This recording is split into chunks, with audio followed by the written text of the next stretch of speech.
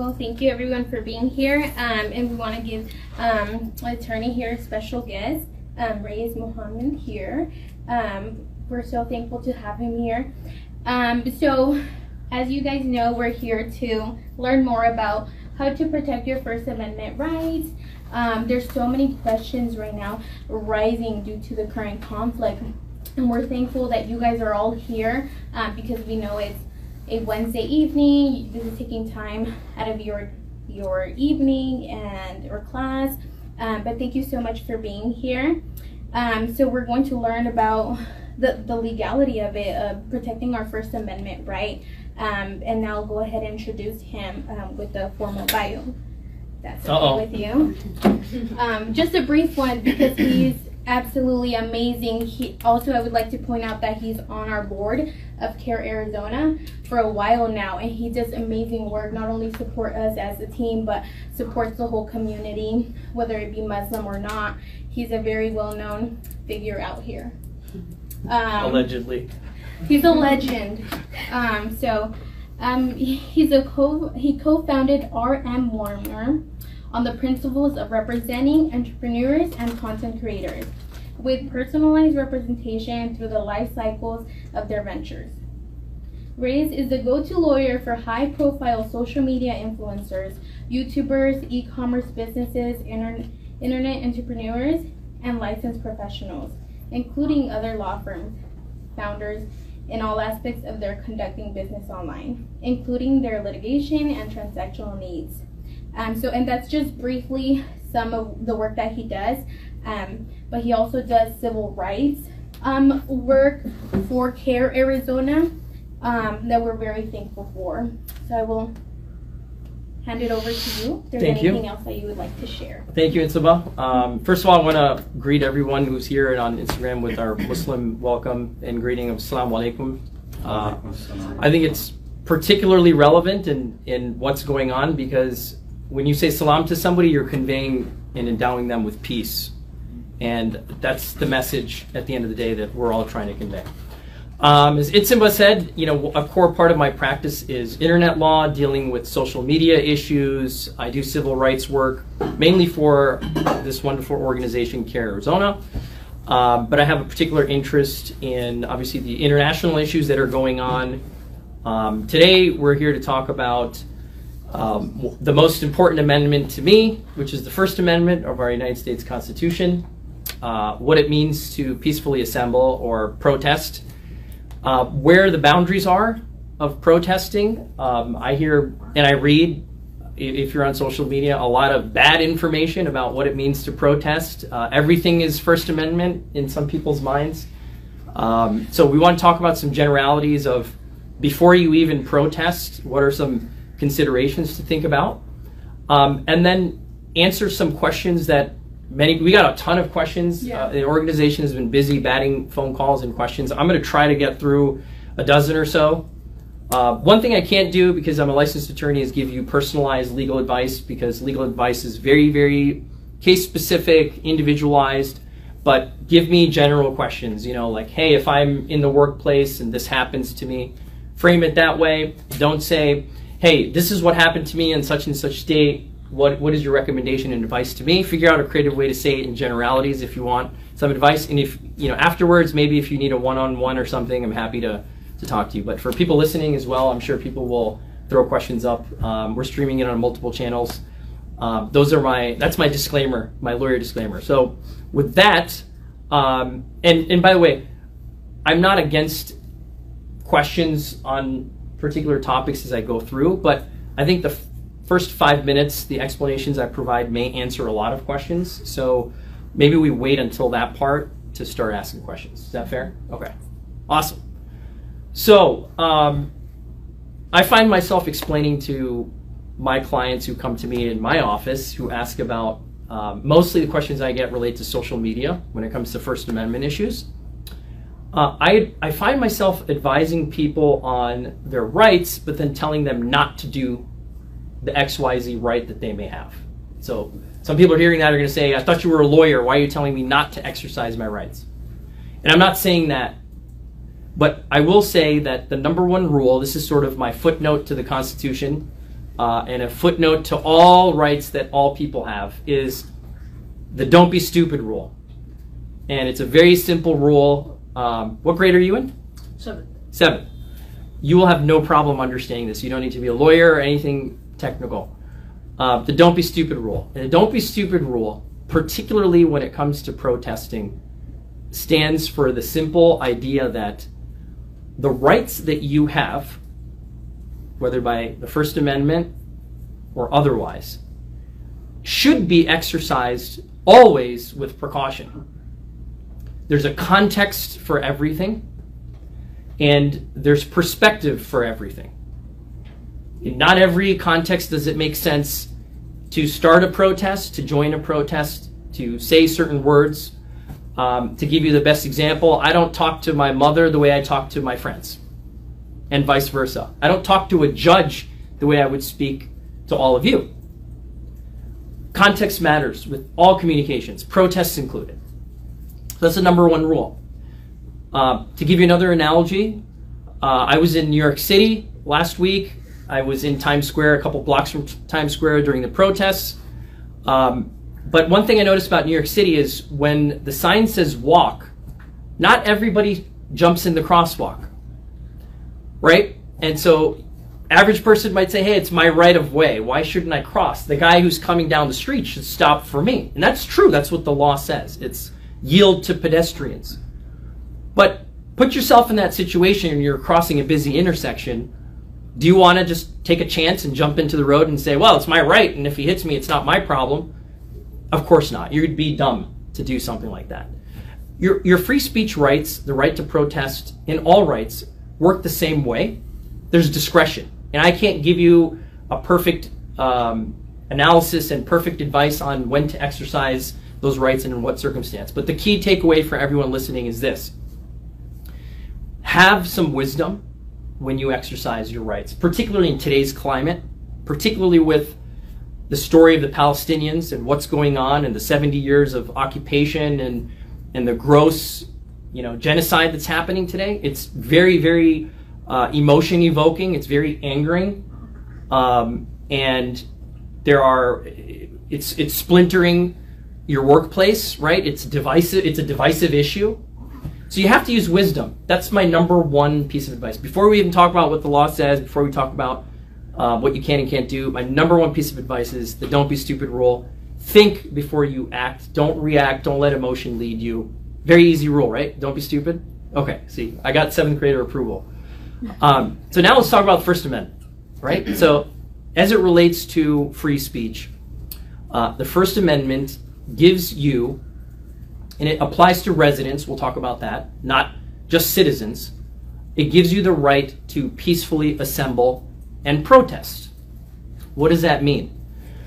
Well, the First Amendment uh, has been interpreted to mean that you can stand in physically be present in public places, sidewalks, parks. Um, those are the most common areas. Outside of municipal office, for example, public, what's considered public space. And you can protest peacefully. Um, and there's a lot to unpack just in that. What's a peaceful protest? Well, we've seen a lot of that in the last week or so. Peace, peaceful protest means a lot of things that common sense would, would dictate, right? Signage, you can chant, you can sing, you can make, make announcements, you can pass out flyers, you can fundraise and solicit for donations for a cause. Um, you can't obviously block a public roadway, even though the road is considered a public space. And the reason for that is the government has a right to give, uh, to, to attach reasonable restrictions on your right to free speech and your right to protest. One of those that we shouldn't forget, particularly when we're out protesting or attending a rally for any cause, is uh, don't block the roadways, don't block the sidewalks, right? The common sense rule. Um, some of these mass protests that you see, again, don't just follow what you see on social media. Many of them have permits from the city, like City of Phoenix, for example. You can actually, there's a city manager, you call, you get a permit. Hey, we'd like to corner off Roosevelt, 7th Avenue, whatever uh, and, and have 5,000 people show up, no problem. The PD will show up, they'll cone it off for you. You don't just show up with 5,000 people and start chaos, right? Um, so knowing that ahead of time, doing a little diligence, and if you're watching this and you're from another city or state, call your city manager, ask what the requirements are to get a permit to hold a protest. Absent that scale, there's nothing stopping you from protesting on a sidewalk or a street. Again, the caveat is you can't block traffic, can't stand in front of a car.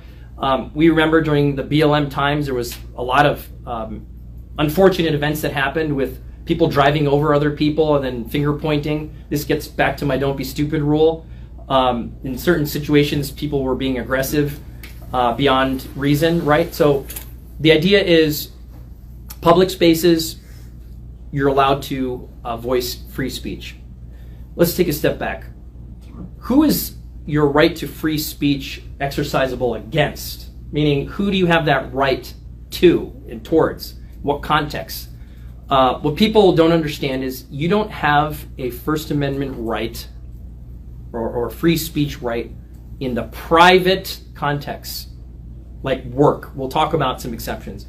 But uh, free speech is a right you have as to the government, cities, municipalities, federal, federal government, agencies, people who accept um, Title IX funds, like public schools, private schools if they accept Title IX funds, charter schools, right?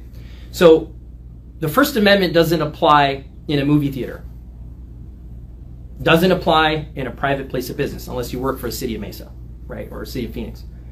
Doesn't apply, you name it, right? Private schools are, I would include in that, that you don't have a, a right to free speech in private schools. Again, unless you get Title IX funding. My point is, there are limits. And unfortunately, I find myself advising people, yeah, you have a First Amendment right, but that right attaches as to the government, not in private settings.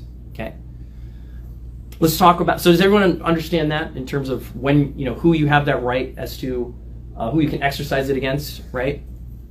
Um, public forums. The definition courts have also interpreted to mean social media, right? So we talk about censorship of social media of, po- politicians um, and censorship on social media. Generally speaking, social media platforms can cancel you. The platforms themselves, the Facebook, Twitter, uh, TikTok, they're private organizations, and unfortunately, and I don't agree with this, right? Um, I would advocate for all speech. Um, they have the right to shut your account down. It's unfortunate. And so when the owners and operators of these social media platforms have a particular political slant, um, you can expect that they may decide that they don't like you and, and shut your account down. We're already seeing it. I have plenty of clients that are major influencers who, who are saying, look, I, I spoke out pro Palestine and I have a million plus followers, and this is how I earn my living through endorsements, and my account got shut down. What can I do? You may have options, but you most likely can't sue for that. Um, there's a lot of federal laws that protect those platforms. Okay, so those are those are the circumstances in which your First Amendment right apply, and that's who they apply against. Let me talk about schools for a second because I know we had a lot of questions on school schools, and and I have had a lot of questions come to me personally about can my son do this or college student this such and such happened. Um, public institutions universities absolutely are places where you can exercise your right to protest okay? Now there's caveats. Remember we talked about the reasonable restrictions? Most institutions high schools um, colleges in particular have policies that dictate how and when you can protest for example, and this actually applies to general general protests on the street. There's sound ordinances. So you can't stand with a megaphone at 10 p.m. and start yelling "Free Palestine." You just you can't. Um, even if it's not at 10 p.m., most likely you can't use loudspeakers again unless you got a permit for it. And the reason for that is there are sound ordinances. It could be a distraction.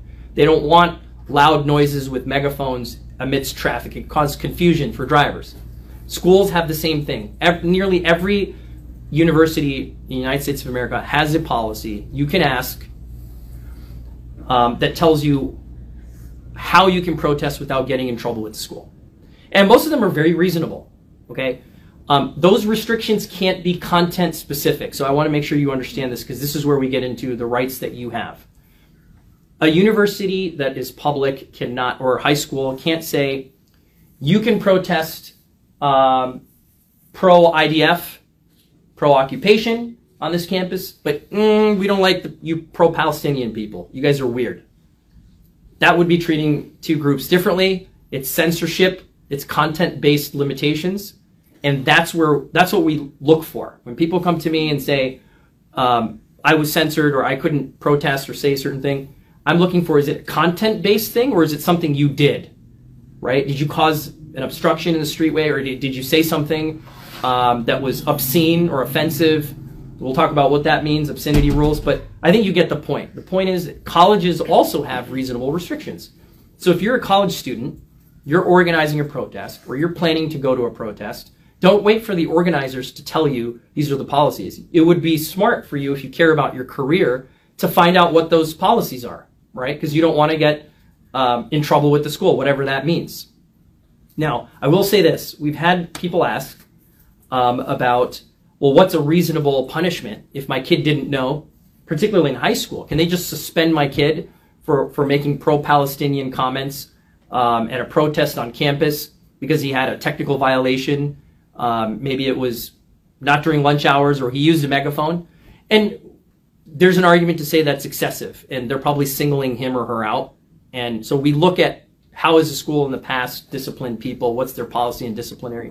But suspension is pretty egregious, right? A, a one week, two week expulsion is even more so. And you know there are um, there are rights that you have, due process rights. There's usually a process procedure before you can be kicked out of school um, for for those kinds of things. But the bottom line is ask, find out. Remember, just to give a high level comment. Remember your reason for protesting. The reason for protesting is not to be violent, cause commotion, and get attention. Maybe for some people. If, if that's why you're doing it, my advice to you is don't protest. If you're doing it to deliver a message, that's amazing. And there's so many great ways to deliver messages, right? So we've talked about, you know, First Amendment, what that means. We've talked about the confines of it, when it does apply, doesn't apply, right? Gover- it applies to the government, doesn't apply in the private context. Um, we're talking about schools. Let's talk about the workplace. So remember, we said your First Amendment right is a right that you have as to the government. Well, if you're employed by a private employer, when I say private, I mean um, not a government or a city agency or state agency, not taxpayer funded, you don't exactly have a First Amendment right to say what you want in the workplace. And people are surprised to hear that, right? We'll talk about distinguishing that from being discriminated against because of something you said online. That's different. But in the workplace, if I walk in, um, you know, with a megaphone saying "Free Palestine," you guys are zealots. You don't support. Uh, you know, you're supporting the occupation. You guys should be rallying. You're crazy. And you start yelling at the cube, you know, people in their cubicles, and you're gonna get fired. And don't call me when that happens because I'll probably say I told you. I told you so. Um, and the reason for that is because your rights end when you walk into a private workplace. To a degree, to a degree. And we'll talk about what rights you still have. But you can't disturb the workplace, in particular in Arizona, we're an at will employer. So they could let you go because you came 15 minutes late, technically, or no reason at all. What employers can't do or shouldn't do, private employers, is teach, uh, treat people disparately, treat people differently. So again, Bob is pro IDF, pro occupation, right? Ahmed is pro Palestine and against the occupation. He gets censured at work, he gets terminated. This dude over here, nothing happens to him because yeah, the boss is uh, Zionist and would love to see more of that. Well, now you engage in discrimination. So this is this is now different from First Amendment. I'm going to move away from First Amendment for a second, talk about civil rights and discrimination, right? So the Civil Rights Act and the First Amendment are parallel in many respects and they intersect at certain points. So now we're talking about discrimination. Um, private employers under the Civil Rights Act cannot discriminate against you um, if you are within a protected class. And protected class is a defined term. So that includes, for example, race, includes nationality, includes religion, includes gender, right? There, there may be other classes, but if you are in a protected class and you are being discriminated against because you are part of that protected class, that is a problem. That is against the law. You'd have a civil right. You'd have a civil rights violation. You could sue for that. So when people ask me, and say, hey, I got fired because I said something pro Palestine, well, it doesn't complete the picture. We need to look at what happened. Was there discrimination?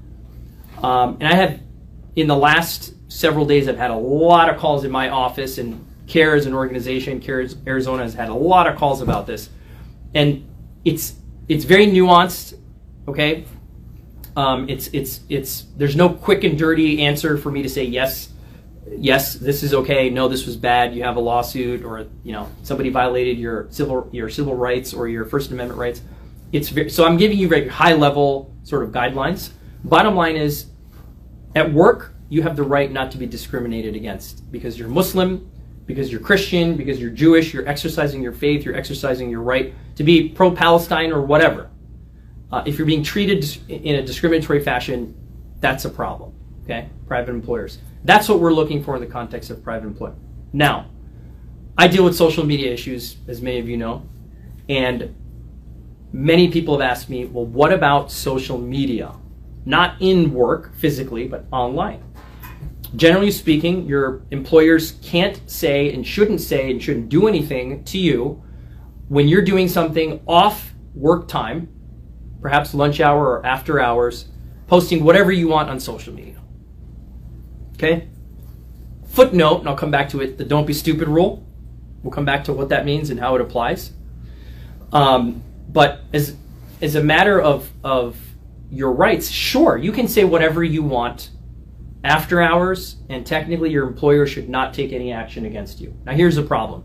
Suppose they do. How are you going to prove that it was because of a discriminatory reason? That's the problem.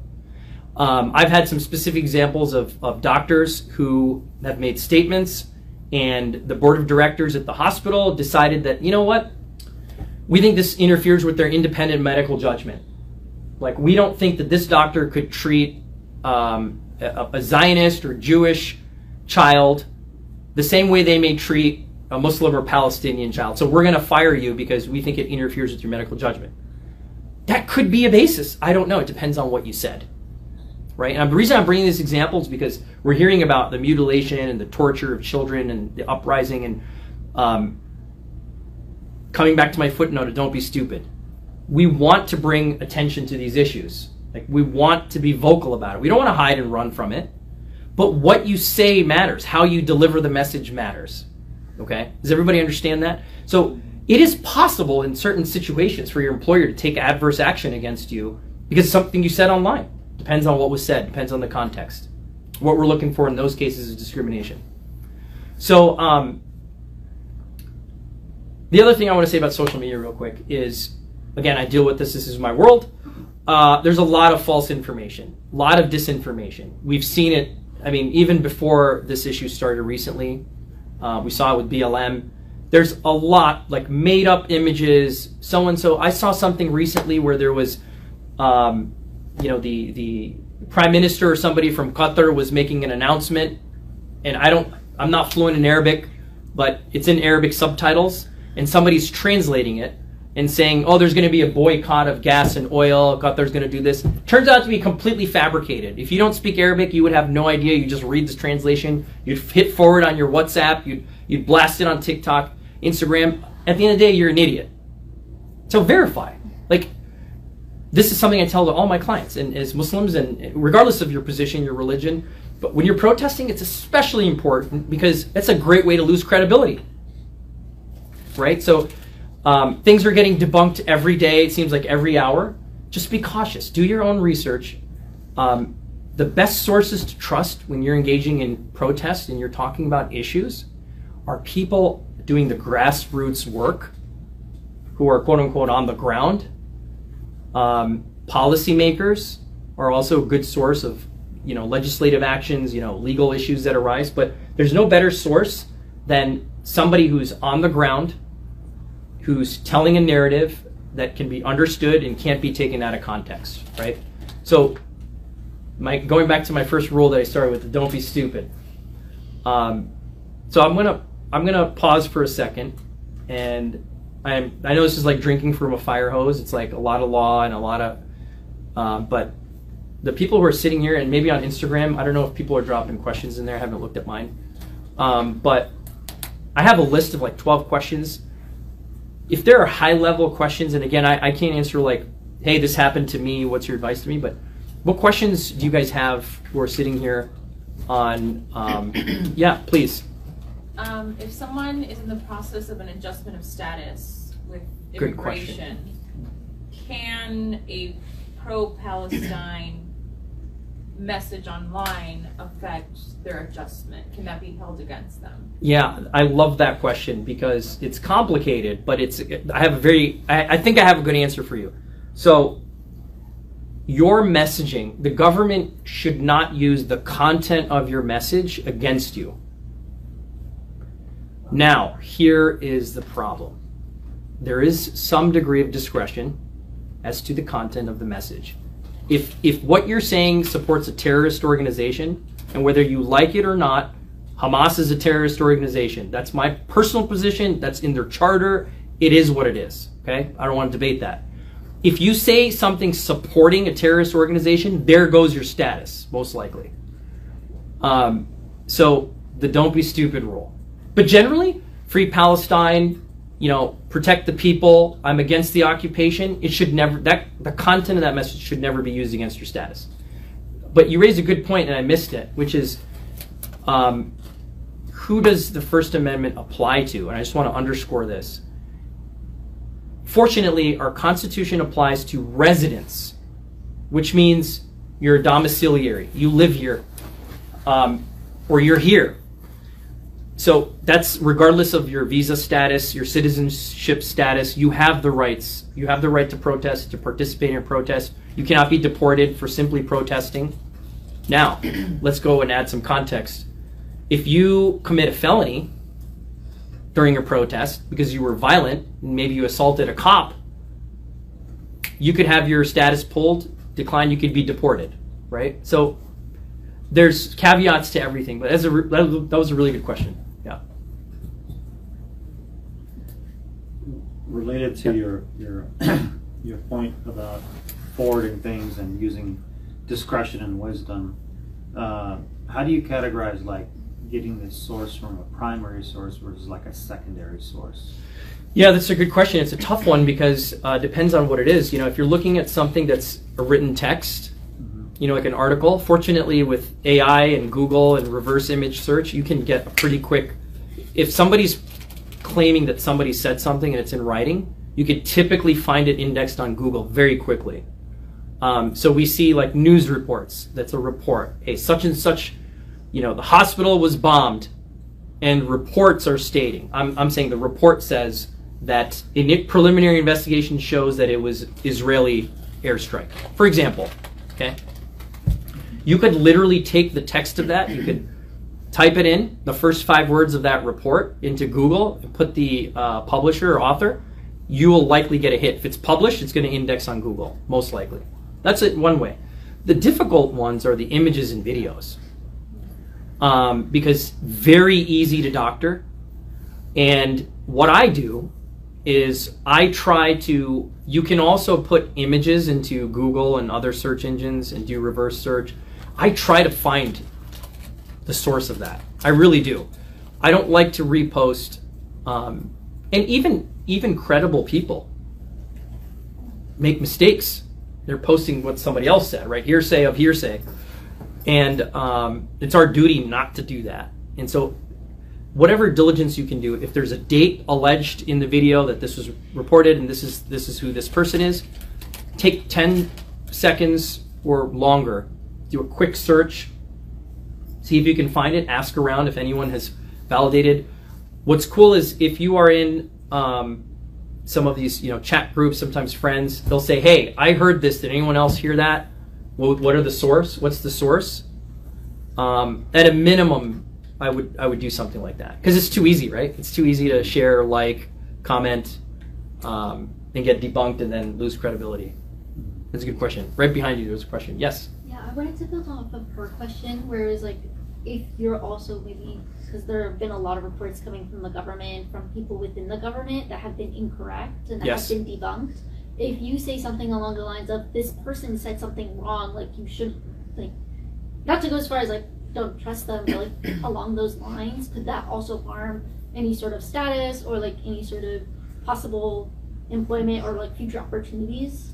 Yeah, great question. So, so I think to rephrase your question, if you cite to an, even an official account of something, but that official account is debunked, right, and then you shared it, in the context of like your immigration status, could that be used against you, or even generally in employment, could that be used against you? Is that is that your question?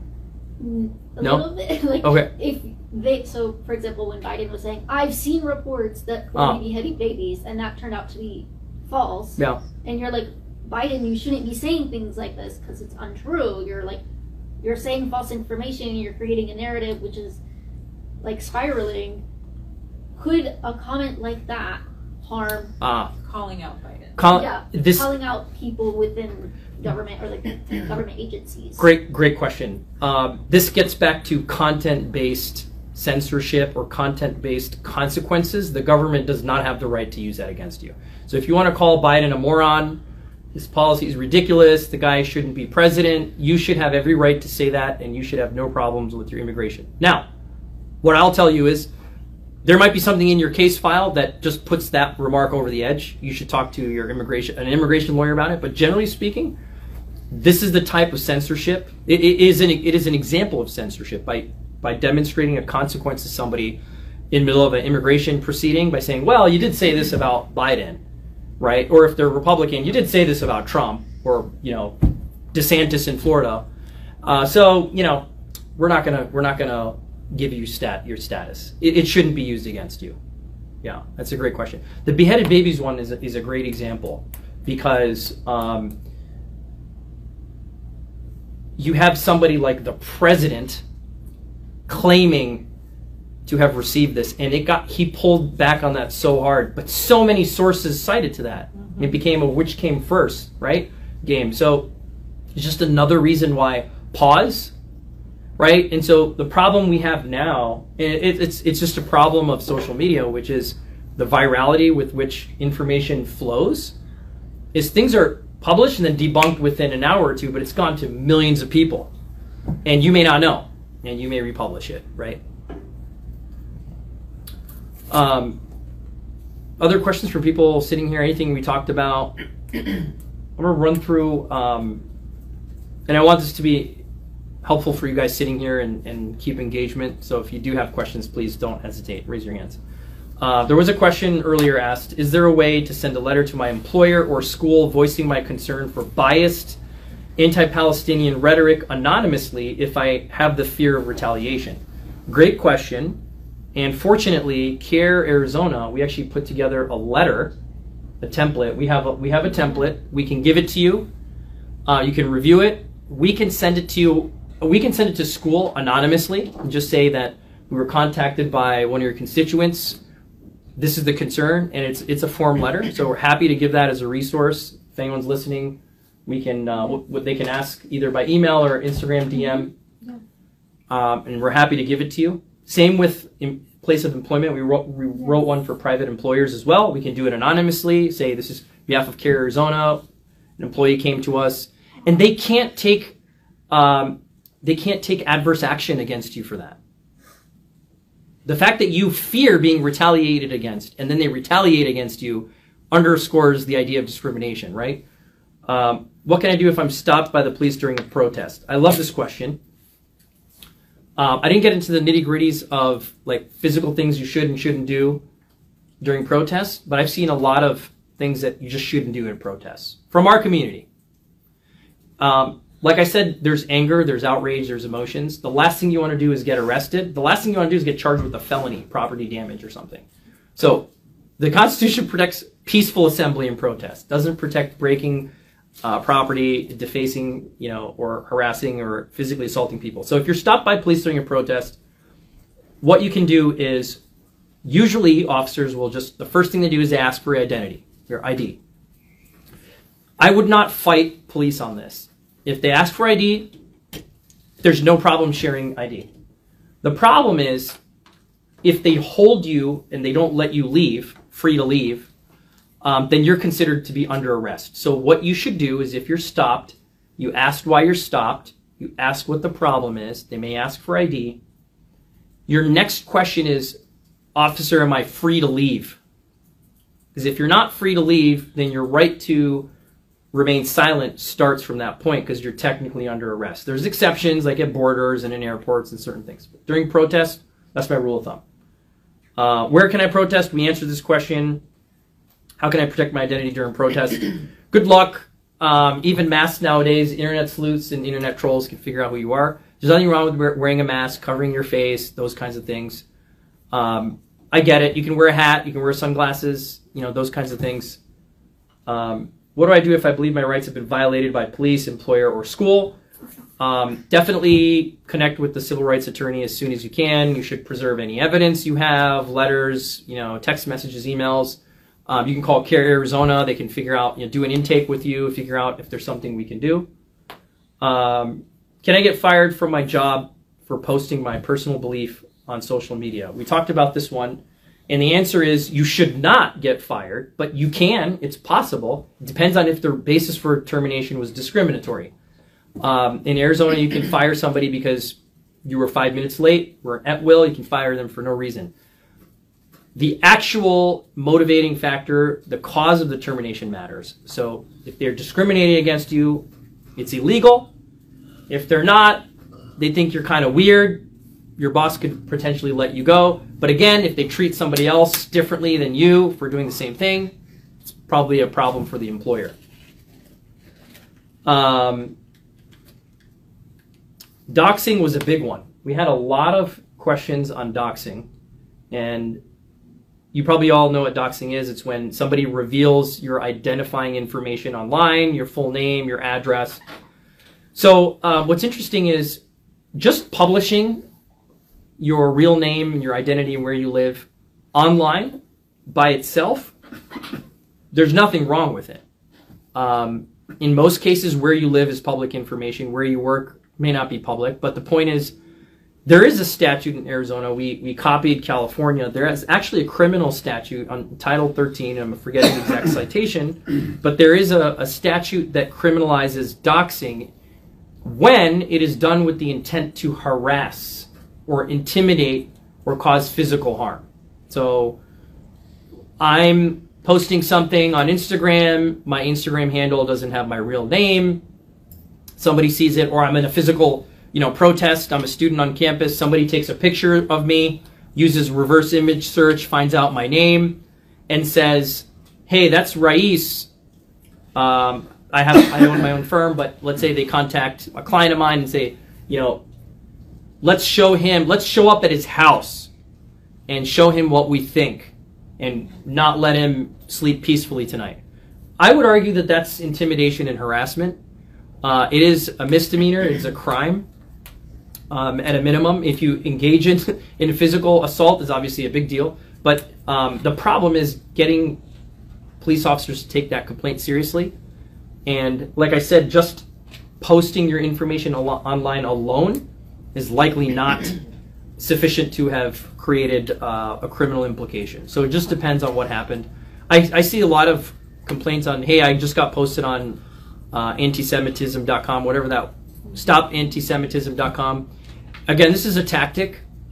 You know, most people who are getting post, posted there are not anti-Semitic. They are pro-Palestine, and it's very, very different, as we all know um, and it's unfortunate.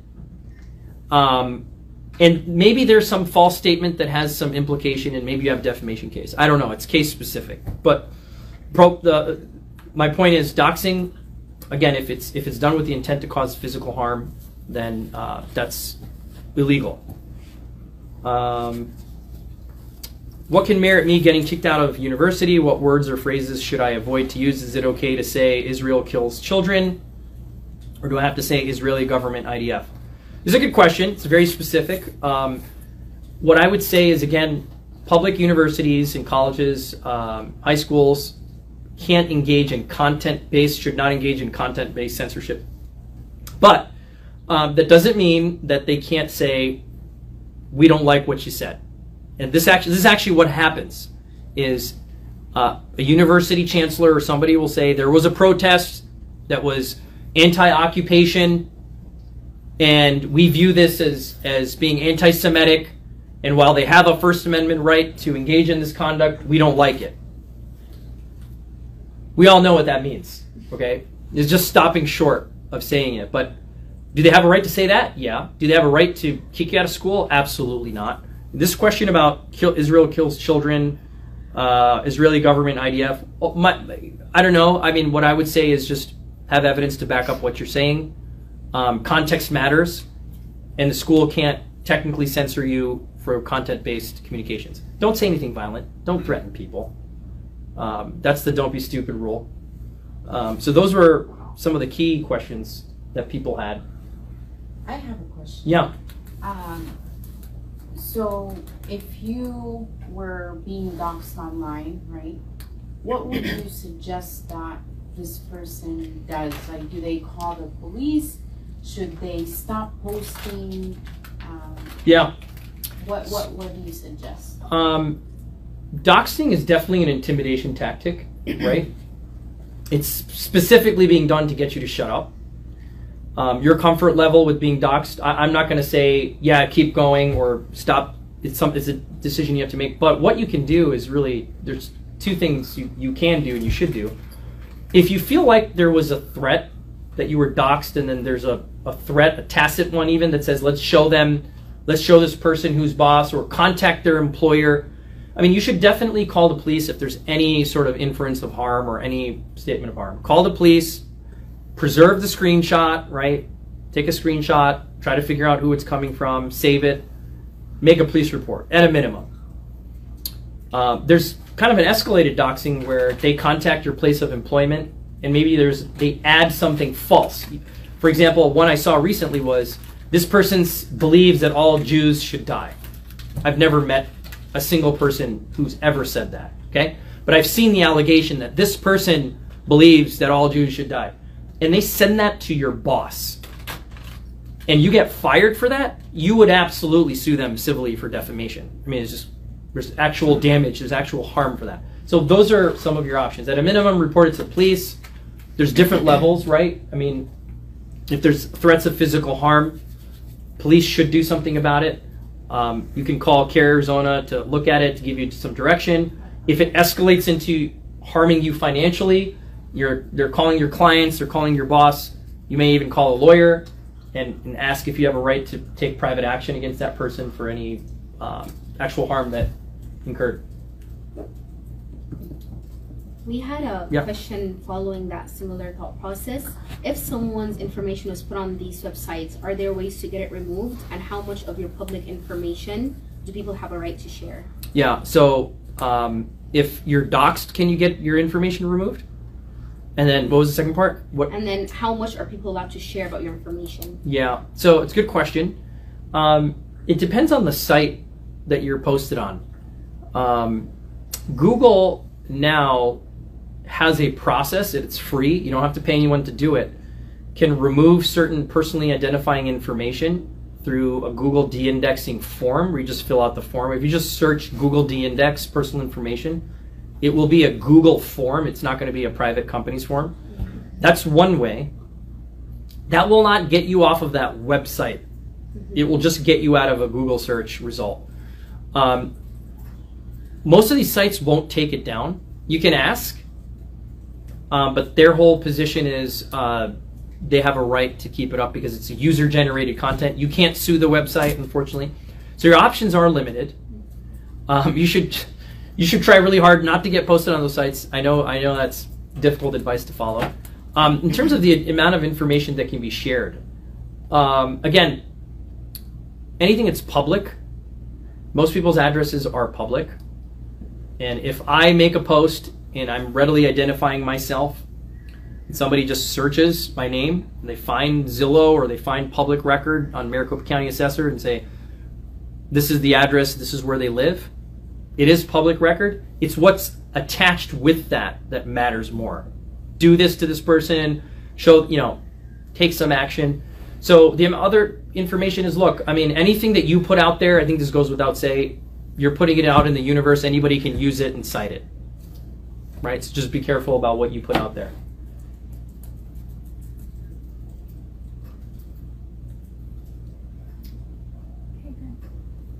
Yeah. Other questions?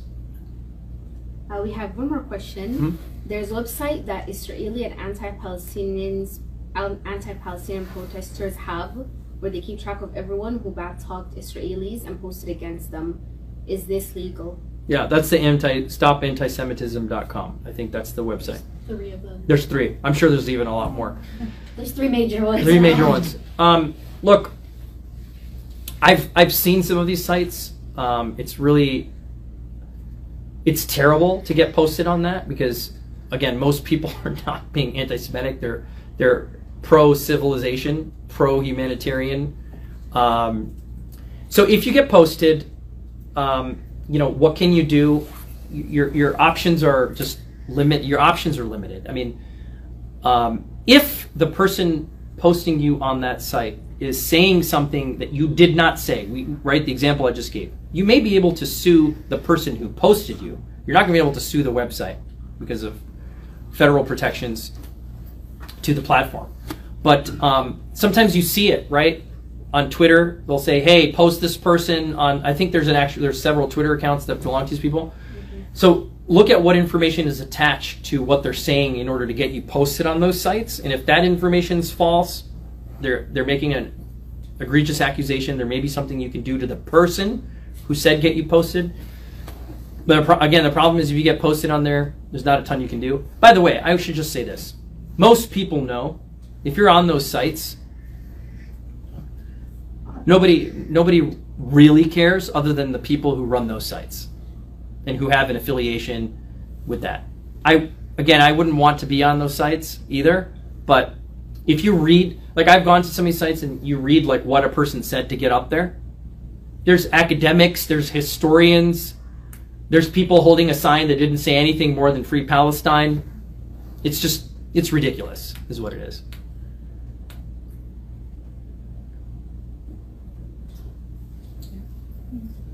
I think, um, thank you so much. That's all, unless anyone has additional questions. Um, Also, I follow Ray's Ray's page. He has so much like content on his Instagram, and we'll attach it to the live. Yeah, my firm. You can put my firm one up. Um, but no, thank you, thank you guys for for coming in person, and um, you know, just the most important, just concluding comment is just be smart. You know, um, people out there want you to screw up. They want to make you a target. They want to say, look at what this guy or gal did, and don't we don't want to fall into that trap. I mean, there's a lot of wisdom in protesting and conveying the message, and and um, keep at it. Just be smart about how you do it. That's the best way to stay out of trouble's way. That's cool. Thank you guys. Definitely. Yeah. Thank you.